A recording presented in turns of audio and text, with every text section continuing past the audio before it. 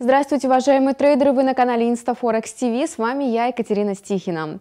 Американский доллар недолго оставался на максимальных позициях и сегодня в ходе азиатской сессии слабеет.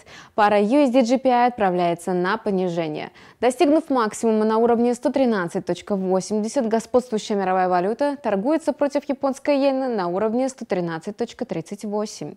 Аналитики прогнозируют достижение котировки отметки 113.20.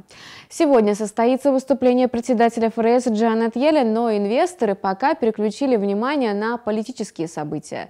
Стало известно, что ушел в отставку советник по национальной безопасности Майкл Флинн.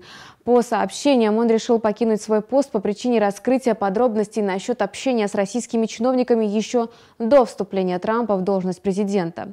Касательно экономических новостей, рынок сегодня приятно удивил Китай. Согласно официальным данным, инфляция в Поднебесной ускорилась значительными темпами. В годовом выражении индекс потребительских цен вырос на 2,5%. Аналитики прогнозировали увеличение индикатора на 2,4%. В месячном исчислении показатель показатель продемонстрировал прирост на 1% после ускорения в декабре на 0,2%. Ускорился и индекс цен производителей в Китае. В январе показатель вырос до 6,9%, в то время как аналитики прогнозировали увеличение значения до 6,3%. Китайский юань сегодня растет против доллара США благодаря статистике Поднебесной, но аналитики отмечают, что это ненадолго, так как ожидается публикация американских показателей. Помимо этого подтолкнут к росту господствующей мировой валюту и содержание выступления Джанет Йеллен.